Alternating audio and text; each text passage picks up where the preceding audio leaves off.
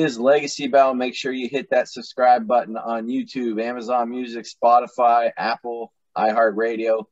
I'm Michael Adams, creator of Legacy Battle. My panelists tonight from the Gridiron Battle Zone, Brian King, Ball State Athletics, Paul Habicott. And we got the Director of Operations, of the Canadian Baseball Hall of Fame, Scott Crawford, joining us once again. We're joined by our special guest tonight, 10 year MLB veteran. He played with the Cubs, Twins, Tigers, Angels, and Phillies. In his career, he's been top five defensively at his position in putouts, assists, double plays turn, catching base runners, catch cut stealing percentage, total zone runs, and range factor. So this guy was pretty good in the field. It's catcher Matt Walbeck. Matt, thank you for joining us. Thanks for having me, Michael. Appreciate it. Hey guys, good to be here. Awesome, awesome. So tonight's debate is going to be the greatest World Series winners from 2000 to 2009.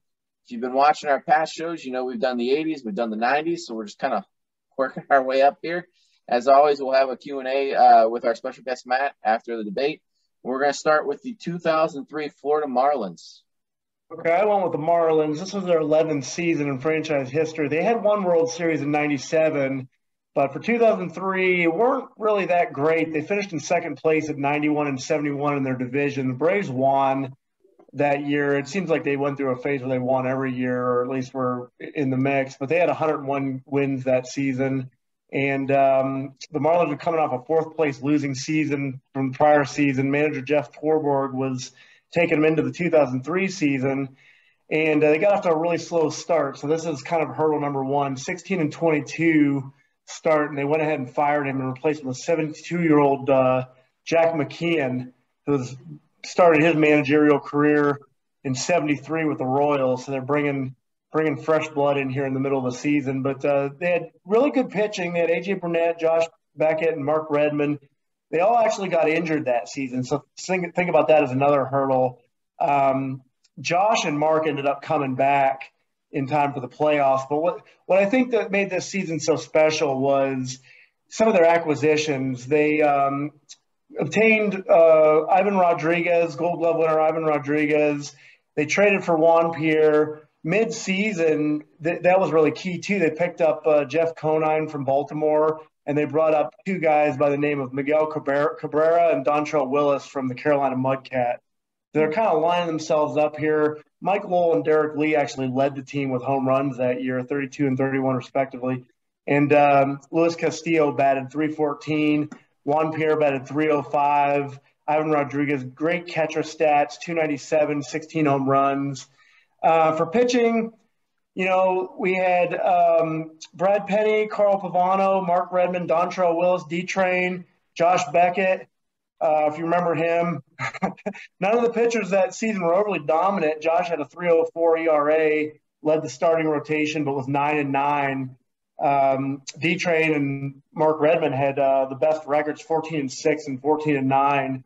So they go into the playoffs and they face, uh, face off against the division winning Giants. So this is the first division winner they play. They won 100 games. Uh, and they, the Marlins actually dispatched them pretty easily, one in four games. So it brings them to the Cubs. Cubs kind of seemed to be a team of destiny that year. They hadn't won since 1908. The series was kind of back and forth, a lot of runs being scored.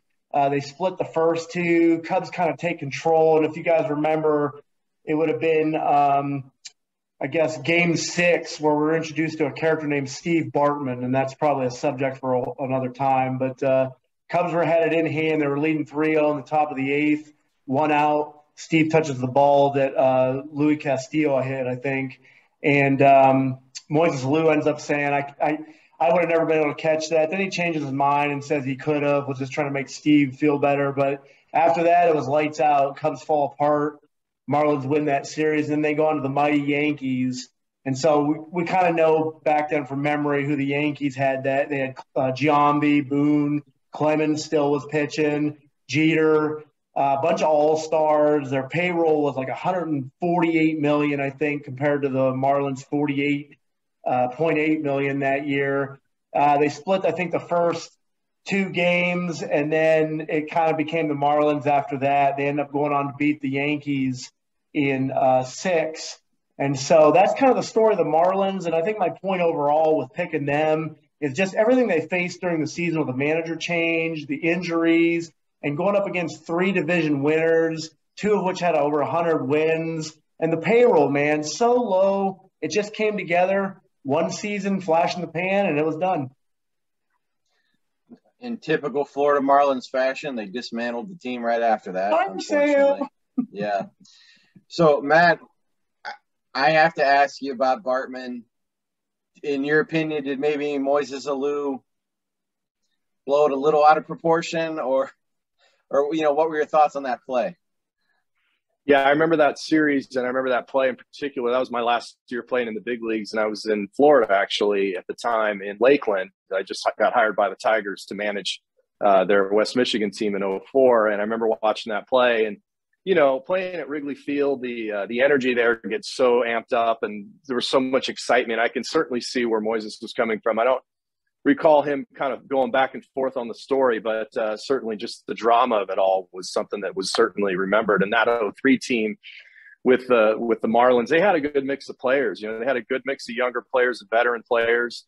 Uh, in particular, having Pudge behind the plate. Um, I think I remember that uh, when JT Snow was trying to score that run there in Florida, and, and Pudge tagged him out and had the ball. It was kind of an exciting play there.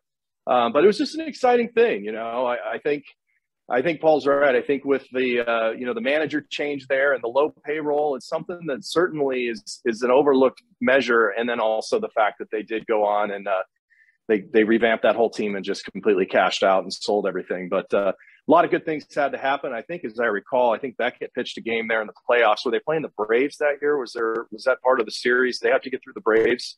Yeah. I don't recall, but I remember there was Braves. They went to the Giants, and then they hit the uh, Cubs. There, that was what their second okay. series was.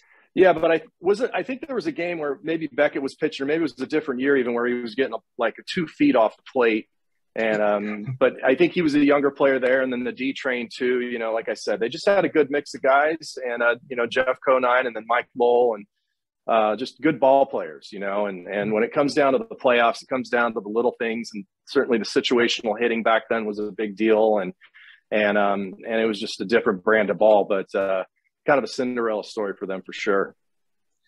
And, and let me ask your opinion as a catcher. Uh, Dontrelle Willis took took the league by storm there. He was a, a, a big addition uh, uh, for a little while there. What what do you think of his mechanics? Like as a catcher, is that changing how you're going to approach catching the ball when it's coming at you because of his mechanics? Well, I mean, you have to figure out their release point and their timing. And he had that big, big leg kick. Um, yeah. And and once you get used to catching guys and you do a lot of that work in the bullpen and things, you, you, you kind of get a feel for how to shift your eyes. And um, there's certain things that you can look at on the pitcher. Each guy's a little bit different, and then be able to shift your eyes to their release point. Um, yeah, but you, you, after a while, once you once you play at that high level, you, you kind of figure it out, and uh, you, you develop that relationship not only with their mechanics, but also with their personality and their their makeup and their mentality. Even so much as how hard to throw the ball back to them, how long to hold the ball before you actually throw it back to them. So there's certain things that as a catcher you can make that pitcher uh, click. And I think D Train at that time was pretty pretty locked in and had that sort of effective wildness about him, as well as just all the moving parts that could be difficult for a hitter to pick up. Well, let's move on to 2004. All right, 2004 Red Sox, managed by Terry Francona. Uh, they went 98 and 64, finished second in the AL East. This team featured catcher Jason Varitek, who batted 296, 18 homers. Um, first baseman Kevin Millar, 297, 18 homers. Second baseman Mark Bellhorn, 17 homers, 82 RBIs. Uh, shortstop, they have Pokey Reese. Um, you know, he, he kind of had to do his thing because Nomar Garcia uh, Piara was out. Um, then you had third base, you had Bill Mueller, batted 283. Then you get the left field, Manny Ramirez, 43 homers, fifth overall, 130 RBIs, fourth overall, uh, batted 308. Then you had a great center fielder, Johnny Damon, 20 homers, batted 304, a little bit of speed there, 19 stolen bases. Uh, right field, you had Gabe uh, Kapler, batted 272. Then at DH, another big home run hitter, Big Papi, David Ortiz, uh, 41 homers, which was eighth overall, 139 RBIs, which was second overall, batted 301. Then you had coming off the bench. I mean, you got guys like Kevin Youkilis, uh, Orlando Cabrera, Doug Mirabelli. I mean, this team was just stacked. Uh, overall, they had the most runs, second in hits, most uh, doubles, best batting average, best slugging percentage, most total bases. Uh, then you can look at the pitching staff, and this this pitching staff has some big names. I mean, you had Curt Schilling, uh, 21 and six that year, the most uh, wins overall. He had 3.26 ERA, uh, 203 Ks, which was ninth overall. Ended up being Sports Illustrated Sportsman of the Year. Uh, then you had Pedro Martinez, 16 and nine, 390 ERA, 227 Ks, which was sixth overall. And then they switched it up on you. They they gave you uh, knuckleballer Tim Wakefield, who went 12 and 10. Uh, Derek Lowe, 14 and 12. And then when your fifth starter is Bronson Arroyo, that's still that's pretty good, you know, 10 and 9. Uh, then coming out of the pen, you had Keith Foulke, 32 saves. That's pretty good. And you had, you know, a guy like Mike Timlin who did a nice job eating up a lot of innings. Uh, so all all together, third in ERA, third fewest walks, uh, second in Ks for that unit. Um, you know, so now you get into the playoffs. This team you know, immediately disposed of pretty talented uh, uh, Anaheim Angels team, three nothing in the ALDS. Then came the epic ALCS versus the hated Yankees. Uh, the Red Sox were defeated by a combined score of 32 to 16 as they lost games one, two, and three. No team had ever come back from being down 3 0 so it looked like the curse of the Bambino was going to live on. Uh, but this team was a group of survivors, and they really defined themselves in the series. They outlasted the Yanks in games four and five, both of which went to extra frames. And then game six, uh, you know, Curt Schilling with the uh, ruptured sheath around the tendon in his ankle, creating a legendary bloody sock. Uh, he battled through the, that adversity and pitched a gem in game six, uh, forced the game seven. You know, Boston's bats finally came back alive as they achieved the, you know, the unprecedented uh, postseason comeback, beating the Yankees. Then, you know, the World Series was almost a formality. I mean, they swept the Cardinals. They allowed just to combine three runs in the final three games. So just took a pretty darn good team and just took them out real quick. Uh, this was a you know, a team of destiny in, in every sense of the word. You know, you had the, the many, many decades that they had not won a World Series.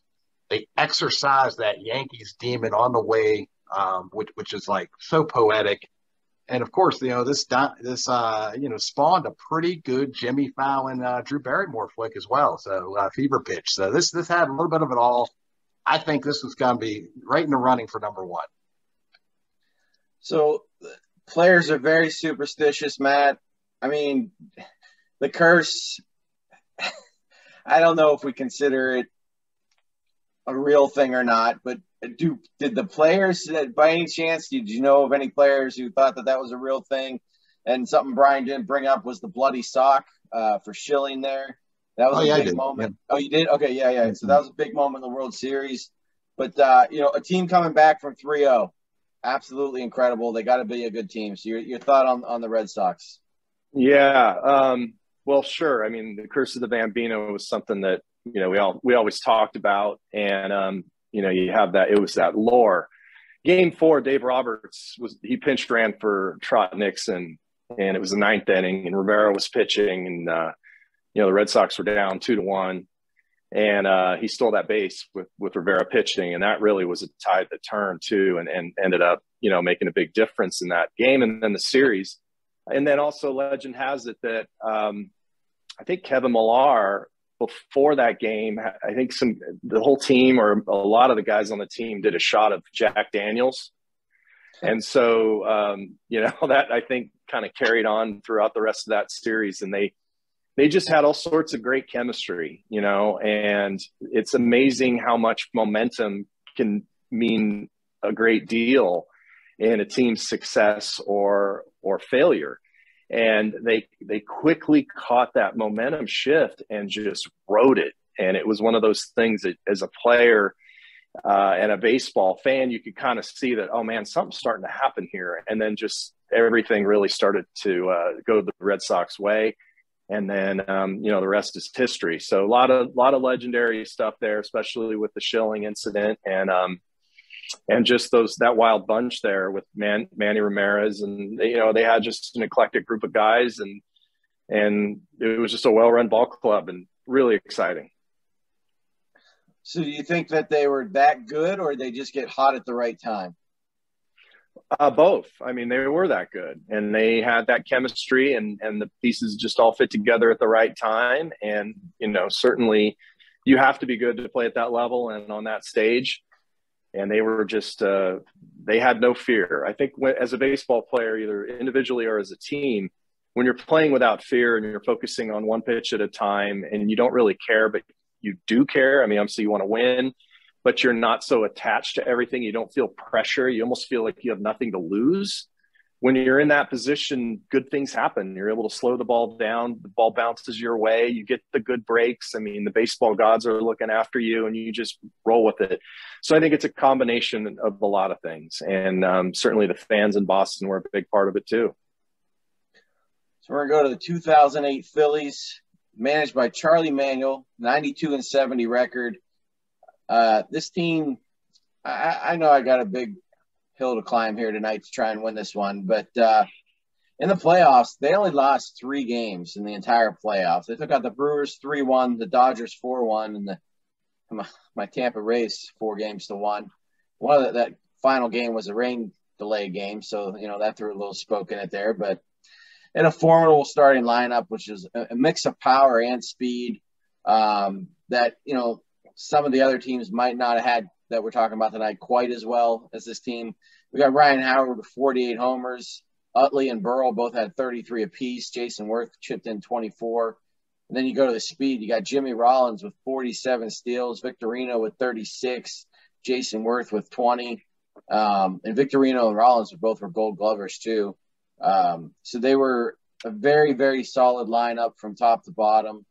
Um, I, I, go into their rotation, and I don't want to say it's like a weakness because it, it wasn't. I mean, obviously they won the World Series and they were dominant in the playoffs, but compared to some of the other pitching staffs we're talking about tonight, I'd say it's a little less. Um, but we got Cole Hamels. He had a solid year. And of course, the ageless wonder, Jamie Moyer. At this point in his career, he is 45 years old. He goes 16 and 7 with the 3.71. 45 years old, and he, he goes on and has a better year the next year. Just kept going there. Um, but the, the real strength of this team um, was the ninth inning. And, and that was when you got to the closer, Brad Lidge. Um, just a phenomenal season. I think he was runner up maybe for the Cy Young that year, but 2 0 with a 1.95 ERA, 41 saves, almost a 3 to 1 strikeout ratio. So at that time, if you got to the ninth inning and you had the lead, the, the series was over because this was this was Lidge's prime year, and uh, he was uh, in the MVP voting too. So he almost won quite a bit of hardware there. Um, he was just basically unhittable. So the 2008 Phillies, they they didn't have a lot of drama other than some drama with the Mets, which started before the season. They just kind of worked their way through and and got to the playoffs, took care of business pretty easily. Uh, there was there was never really a challenge.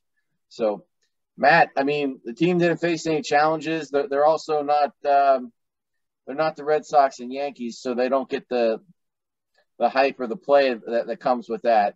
But uh, you know, your your thoughts on Phillies and and just Jamie Moyer. I don't know if you came across him at any point in your career. What do you think of that guy? Yeah, I did. I played with Jamie in the Cubs organization uh, when I was coming up with them, and uh, that was back in maybe 1991 or two in spring training. Um, just a, just a true pure pitcher. You know, he could read swings. He had the ability to pitch below hitting speed every now and then he'd run it in on your hands. He had a good changeup. You kind of knew what was coming. Um, but just a, a, gritty competitor, a guy that you would uh, you just love to have on your team, good teammate. Um, and then I think that Phillies team had good pitching and defense. They had speed, they had power. you know, so they had all the components to uh, put it all together, and then you know the chemistry of that team as well seemed to really make them gel. And you heard what he said. 1991, he played with Jamie Moyer, and I'm talking about a team. I think, it was, I think it was 91. I, I don't know. It was sometime in the early 90s. I can remember he was he was in the big leagues and I was in the minor leagues, but uh, you know I had a chance to catch him. I don't I don't know if that was the exact date, but back then, yeah, I was. Yeah, I think he, he was with the Rangers too at one time before that. But boy, he had a long career. Excellent. In fact, real quick story about Moyer. Yeah. Um, when when facing him for uh, you know when he was pitching for the Mariners, he had this little he had a couple tricks that he'd do. Um, he would have a ball and then he'd he'd step off the mound and he'd shake it to the umpire like he wanted a new ball. And we were told as hitters, don't watch him throw the ball back into the catcher. Because what he'd do is he'd actually do like a little bit of a skip and a crow hop and throw it as hard as he could into the catcher to get a new ball with the idea that he would mess up your timing with that. And so it was one of those things that you, it was a little gamesmanship. You know, he'd kind of whip it in there as hard as he could to kind of throw off your timing. And then he would do this little trick. I don't know if anybody ever caught him do it, but he'd be in the stretch or the windup and he'd actually take his left foot and he instead of keeping it on the rubber, he'd actually step up about a foot and then lift up his leg and throw the ball. So he was real crafty, man. You talk about a crafty left-hander. He'd kind of sneak in front of the rubber when you'd least expect it. So just throwing you off and things like that. It was a gamesmanship. And then I remember we were playing against him when I was with the Angels, and he'd go out and he'd watch all of us hit batting practice and just try to get a game report or or a feel for how he was going to face us. And Gary DiSarcina was our shortstop at the time. And in batting practice, he knew Moyer was sitting there on you know, on the top shelf watching him there in their dugout. And Desar would just hit everything the other way. He was like fighting the ball to hit everything to right field, everything to right field. And so Moyer saw this. So in his in his game plan, he's thinking, okay, this guy's going to try and shoot me the other way. And Desar set him up. First pitch, he tries to throw him fastball inside, and DiSarcina opens up, pulls it. You know what I mean? So a little bit of gamesmanship went against Moyer that time. Hmm. Let's move on to our final team tonight. It's the 2009 Yankees. Yeah, the uh, oh, I got to trade hats first. This is the uh, from my Yankees hat there. Just don't tell any of my Canadian friends because uh, you know they won't be too happy I'm wearing a Yankees hat tonight and cheering on the Yankees. Um, basically, I, I, mean the Yankees won 103 games in in 2009. They had the best record, the most wins of anybody that in that decade, and of course they went to four World Series in the decade. So they were they were unstoppable basically through the 2000s. Uh, they won the AL East by eight games, so it wasn't really even a challenge all season long. They had uh, their team was full of Hall of Famers. I mean, you got Derek Jeter, you got A Rod, you got CC Sabathia, Andy Pettitte, Mariano Rivera. I mean, their their team is completely stacked. And and then you look at the next tier of players. You know, Mark Teixeira with 400 career home runs, Cano with 2,600 hits, Damon with 2,700 hits and 400 stolen bases. Matsui won the World Series MVP that year. Of course, he was the Japanese legend that that came over. Um, their their lineup was just stacked that whole year. You look at their starting nine their starting nine averaged 25 home runs, 288 average, and an 873 OPS. That's their average starting nine. So that, that that's impressive. I mean, and and you go down to their you know their rotation. I mean, again, I've mentioned Sabathia, I mentioned Pettitte. You know, both will probably be in the Hall of Fame soon. AJ mm-hmm. Burnett had a great long career, and the uh, the guy that was supposed to be the great one, Joba Chamberlain, didn't quite turn out how he's supposed to be, but he still pitched. He pitched well. So I, I, mean, and they won the playoffs pretty easily. I mean, they they first they they took down the Twins obviously three nothing. Then they beat the Angels four two and and the Phillies four two. The Phillies were there back to back years. And um, but the unique thing when you look at these teams is um, the Yankees actually played worse in the World Series than they did in the regular season. You know, their average was down, their ERA was up. Um, whereas all the other teams is the exact opposite. They they played up and they won the World Series by having better uh, stats than they did in the regular season. So the Yankees were so good, and they actually played worse, but they still won the World Series, which was which was kind of unique. And a couple other things I have is the uh, the, the, the Yankees had good luck charm Eric Hinske on their team. If you remember Eric Hinske's career, he was in the World Series with the Red Sox in 07, the Phillies in 08, and the Yankees in 09. So he had a little streak there of uh, of doing well in the in the World Series and getting the World Series.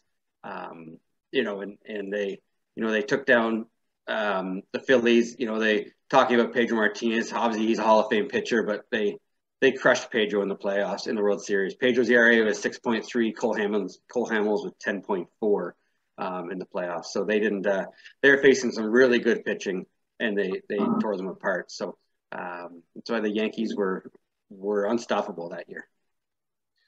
And uh, Hinske was uh, he was on the Tampa Rays in 2008 when when when they went to the World Series. So there's another one for you. But Matt, the the evil empire, uh, uh, they bought their team. Um, I just every time we talk about Yankees on this, I, I got to throw that out there. They they bought their team, but you know they still won the championship. It doesn't mean it's going to mix just because you buy it. I mean, was there any holes in this lineup that that you have seen that with what he mentioned?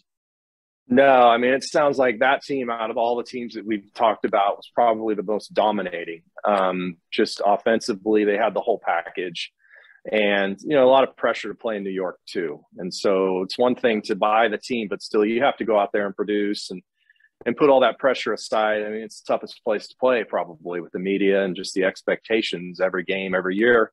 And um, yeah, they they put it all together and had an incredible record, winning over 100 games. And um, yeah, it was domination all the way. We got a shout out to the 2005 White Sox. Probably could have been on this list tonight, um, but uh, some of us picked with our heart and not necessarily our brains tonight. But uh, let's move into our vote. Paul, you're in my corner. Can't take your own, guys. Uh, if I, I can't take my own, so I'll take Brian's. That Red Sox comeback is one of the greatest things I've ever seen. Okay. Brian? Um, I mean, I, am gonna hold my nose when I do it, but man, I gotta pick the Yankees on this one. This was they were just so dominating then. Okay. And uh coming into the night, I actually was thinking Red Sox, but Scott actually won me over with his argument. That lineup was uh, quite formidable. I do give the pitching edge to the Red Sox, but uh, yeah, that, that and over 100 wins too. That that that's very impressive. So I'm taking the Yankees. Scott. All right. Well, I can't pick my own, of course. So I'll, I'll go. I got to go with the 04 Red Sox. They were just, you know, dominating, and you know, it was it was their year, and and it was took them a long time to get there, and but uh, the 04 Red Sox, I'll go with. I love when we have ties going to the athlete for the final vote. That puts the pressure on you. You can Yeah. you can break this tie, or you can you can take one of the others. Yeah, I'm going to go with the Red Sox. I mean, just breaking that curse and um, just the drama behind all of it and being down to the last out almost, and just that that whole energy and everything, and and just the excitement that it brought the city of Boston and and just beating that curse. I'm going to go with the Red Sox. All right, a win for the 2004 Red Sox and Legacy Battle's greatest World Series winners, 2000 to 2009. Let's uh, move into our Q and A for Matt. Brian, you got the win. Scott, you'll go after him. Okay, so Joe Torre, Joe Girardi, Mike Scioscia, Matt Matheny. I mean, I could go on and on naming big league catchers who became successful managers. So, being a catcher turned manager yourself, can you explain why this transition occurs so frequently?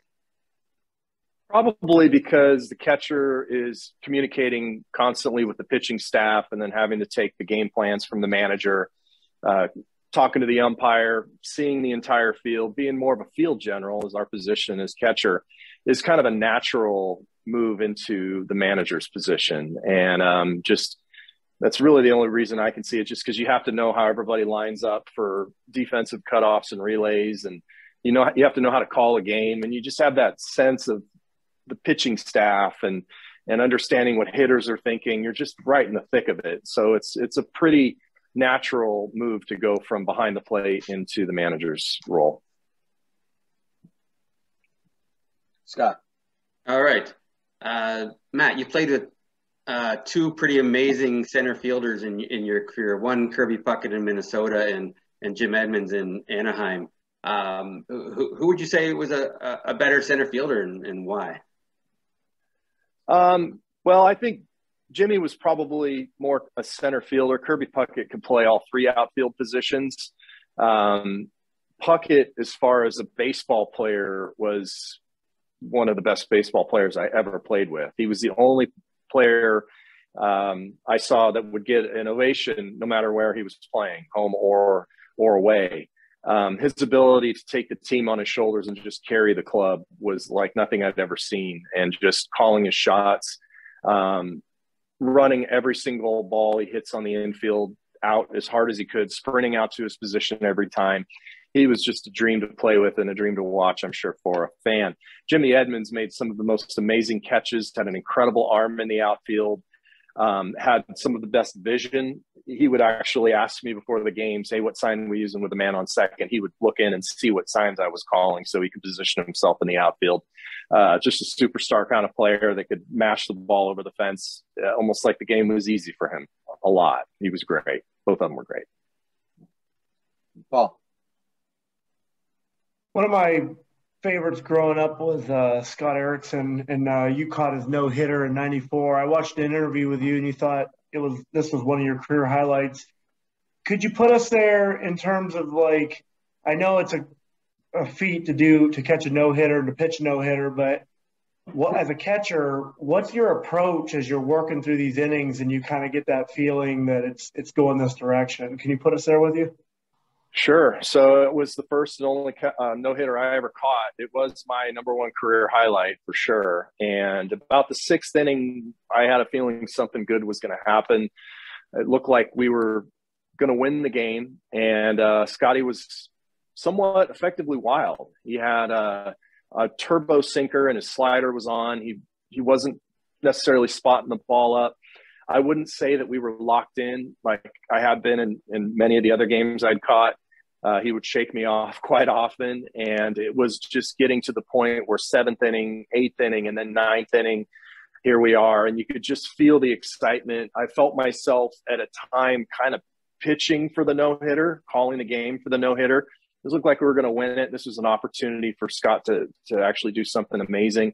And uh, came down to one of my buddies here in Sacramento, Greg Vaughn. He and I would work out in the off season, and I don't know if you recall, but that last out was a real close play in left field with uh, Alex Cole and Pat Meares, the shortstop, going after it. And, uh, you know, the ball was caught. And I mean, I was raising my hands up and then I realized, oh no, it might drop. Um, but it was just, it was phenomenal. You know, it was just one of those magical moments. And then shortly thereafter, I saw the second no hitter thrown in the Metrodome. Eric Milton threw it and I was on the opposing team. I was with the Angels that time, so I got to see two no hitters and be part of uh, catching Scotties in '94. So let's stick with the the wild pitcher here. I'm gonna take you back to Anaheim. Steve Sparks. How do you catch for a knuckleballer when you have no idea where that ball is gonna go? And and like, what is your approach behind the plate when you got a knuckleballer on the mound? So it took me a while to figure Sparky out, and I played with him in Detroit as well. And for for the first probably 15 games I caught him, he would put his Mizuno girls softball catcher's mitt on my chair. That was part of his deal. So whoever was catching would get the mitt on their chair. And I just didn't like it. It just didn't feel right. It was too flimsy, and I, I didn't couldn't get the ball out and throw it. Um, and my approach was to try and catch the ball. And then finally, and he threw it hard too. He didn't just float it up there where it was kind of coming in soft. He threw that thing in 70 mile an hour range. So it was coming in quick and hard and flat. And then at Anaheim, it was even more difficult because they're in the pitcher coming out of his release point was this great big Coors Light sign that was white and silver. And so it was just a lot of it was uncomfortable. So then I decided, well, the heck with it. I'm not even to try and catch this thing. I'm just going to try and let it hit me. So then I would just move my body to where I thought if I missed it, at least it would hit my chest. And I was still pretty unsuccessful with it. But, you know, I loved catching Sparky. His, he was a gamer. Um, every now and then he'd zip that fastball in there. Um, but that knuckleball was tough. It's tough to hit. You know, it's tough to catch. It's tough to call for umpires and you just have to trust it and relax and hope you keep it in front. But yeah, it was it was a challenge to say the least. One more each, same order, guys. All right, so Matt, I, I look at this uh, this managerial uh, resume. I mean, 2004 Midwest title, uh, Midwest League title, 2006 EL Manager of the Year, 2007 Minor League Manager of the Year, 2010 EL Champion and Manager of the Year. I mean, obviously things didn't go too well in oh, you know 2011, but uh, do you miss managing at the minor league level, and would you ever consider a return? I loved managing. It was it was a lot of fun. I had a lot of success. Had a lot of great players when I was with Detroit. Um, Dave Dombrowski was the GM, and um, Glenn Ezell was the field coordinator. They gave me a lot of freedom and ability to kind of do what I wanted to do. And it was kind of before Moneyball, so the manager had a little more say in how things were run.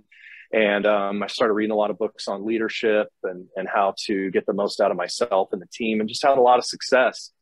Um, and then as the game started to move more towards Moneyball, I sensed that the field manager became more of a middle man. So you were told how you had to play guys, uh, you had to follow certain rules that you may not necessarily agree with, and so it became more of a it just it just didn't feel right. And then I got out of the game, and I've been out of the game since 2000. After I actually got fired during the 2011 season when I went managing in Rome. I went from A ball manager, double A manager, big league third base coach for one year with the Rangers, back to double A manager. I did win Baseball America Manager of the Year for all minor league managers in 07.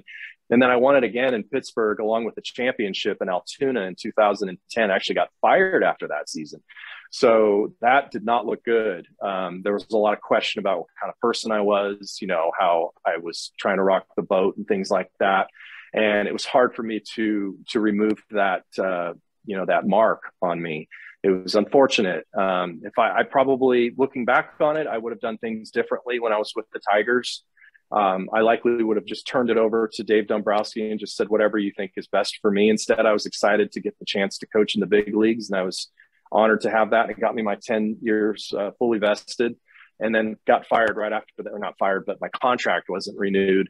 And so things kind of went south after that. But to answer your question, the, the latter part is I'd love to get back in the game at some level, some capacity. I don't necessarily think managing would be something I'd be interested in at this point, but I do think I have a lot to offer from the perspective of having managed in the big leagues back then or, or coached in the big leagues back then as well as managed. And I've also started my own baseball academy and I've learned to really develop younger players. And um, I've, along with my business partner, we've developed an online training app. So I've got some, some software that actually teaches kids how to play. And so I've really dug into the whole coaching thing in sort of a humble way to try and help players and things. So whatever happens, happens. I love baseball. Um, it's great to still be with my family and yeah, I don't know. I have uh, a lot of fond memories along the way too.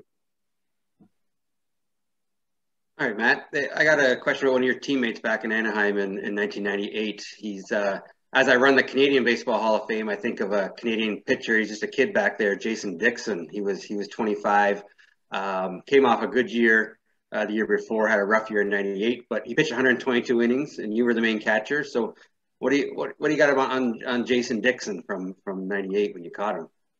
Oh, just such a great teammate. I was his personal catcher, and uh, we worked really well together. He had a, a, a great curveball that uh, he could bounce a lot, and I was I like to block balls, so I was encouraging him to continue to do that. He had a good fastball as well, and just a competitor, just one of those guys that would take the ball and just love to get out there and compete.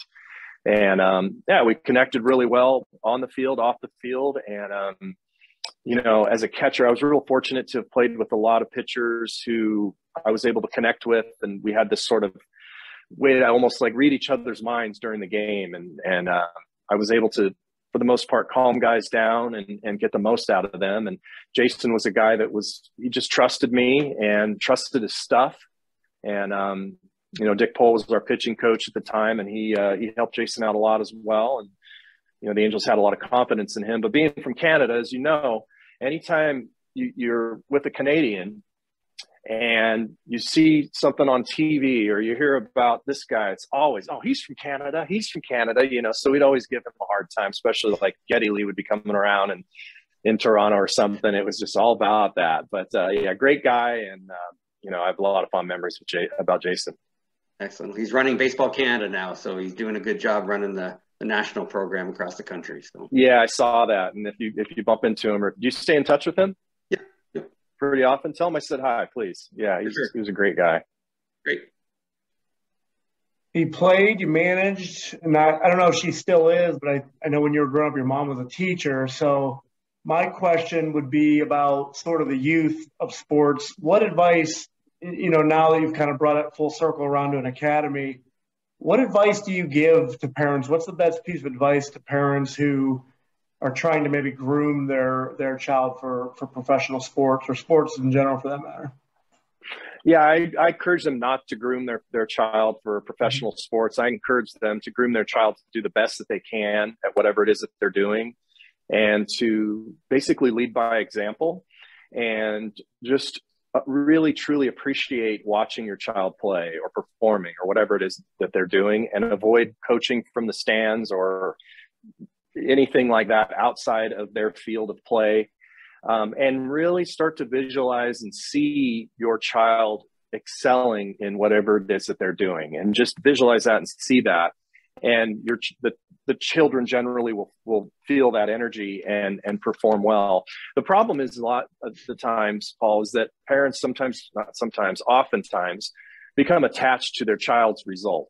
And and that it stings the parent because they feel like they're not parenting well and they want to do whatever it is that they can to help that child play better. And then what happens is the relationship the child has with their parent becomes sort of disjointed and they feel as though that their performance is going to basically affect the way that their their mom or dad loves them. And so it's just ultimately just removing that attachment to their child's play and just appreciating and loving them and enjoying the fact that they can go out and play as long as they're doing their best and holding their head high. And I and I'll tell them, say, hey, you know, watch them hustle on and off the field. If they're a baseball player and they hit a ground ball to short, just make if they run hard down the line and they hit the front part of the bag after the game, you know, maybe say, I really, that play, I know nobody saw, but man, you did a great job running down the line. I saw you cheering for your teammates. Or even better, yeah, don't even say anything about the game on the way home. Just say, I just love watching you play. And, you know, just once they have that, that they let go of that attachment of their child's performance, the child's going to play better and their relationship's going to blossom. So I want to, I want to ask you this, like you mentioned Moneyball, analytics has taken over the game. It's it's definitely not the same game as from when I was a kid. The last 15 years specifically have, have really changed. Do you see baseball making changes at some point to fix what has come? And it's like, what are your thoughts on today's game? It's a, it's strikeout or home run. It shifts. Its batting averages are lower than probably ever at this point. But what are your thoughts on today's game? I love baseball and I always will. And there, it, it's always changed. However, in the last seven or eight years, it's changed more than it had, I think, in the last 30 or 40 years. At least it feels that way with the rule changes and the way the game's played. The players are better. They're definitely getting better, but the game is not being played better as a whole. Um, it's become more not only analytical driven, but also more individual stuff, performance on the individual. And instead of offensively giving yourself up and maybe hitting the ball on the ground to the right side and moving a runner at the very least from second to third with nobody out, you've done your job. Now I don't think that's appreciated as much. Back in the old days, you go to a game and that would happen. You know, you could see the fans clapping and cheering. That's why I love going and playing in Boston and New York because they got the game. They appreciate a good play um, you know, catchers down on one knee. You know, they're saying, well, you know, framing is more important than blocking. While I was watching the game tonight, the Yankees and the Red Sox, and I think two or three runs were scored due to the fact that a ball got by the catcher.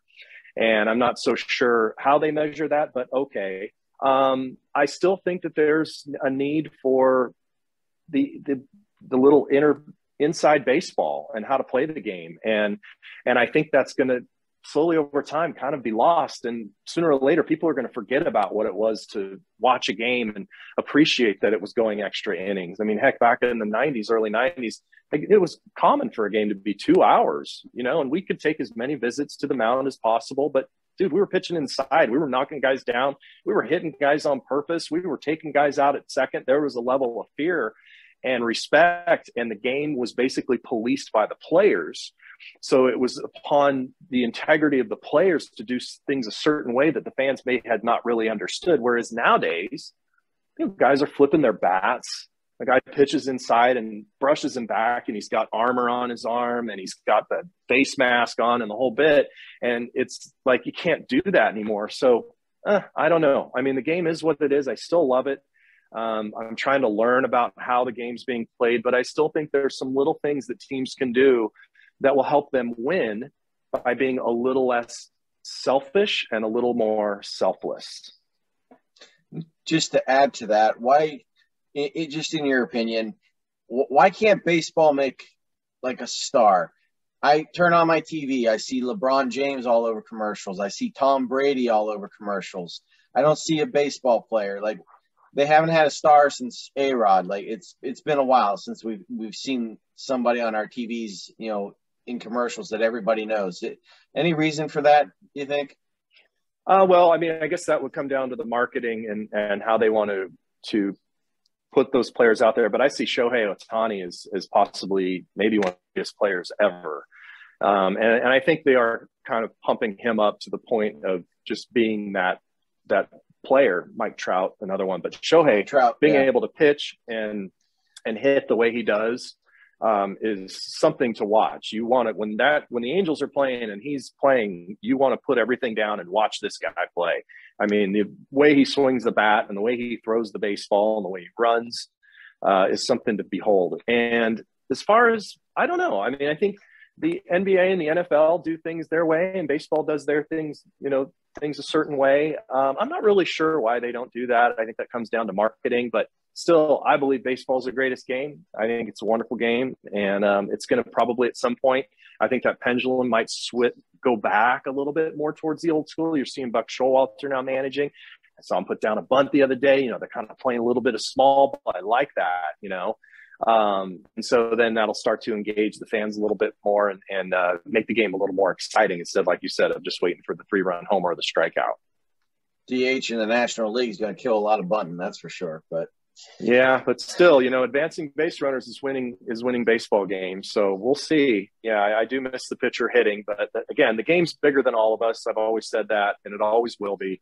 And um, it's going to continually evolve, and um, it's still the greatest game out there. Well, I want to thank Matt Walbach, Matt Walbeck for joining us, and I appreciate you coming on. That's a good time. First catcher. It, we've been trying to get a catcher for a while, so I appreciate Great. that. Michael, Paul, yeah, yeah. Thanks, Scott and uh, Brian. Thanks for having me, guys. I really appreciate it. Uh, it was a lot of fun. I want to remind everybody hit that subscribe button. Thank you for watching. We'll see you next time. Have a great night.